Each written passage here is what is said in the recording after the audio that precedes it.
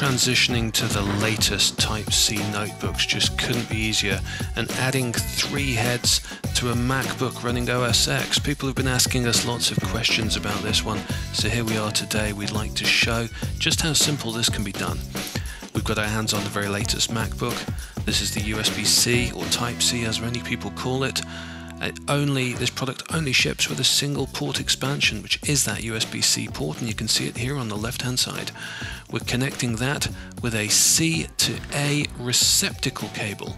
This is a very simple cable that enables you to connect the new MacBook or any Type-C product directly into one of our standard shipping DisplayLink enabled docking stations.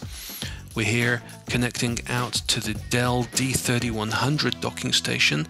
This is a triple head docking station using today's flagship chipset from DisplayLink.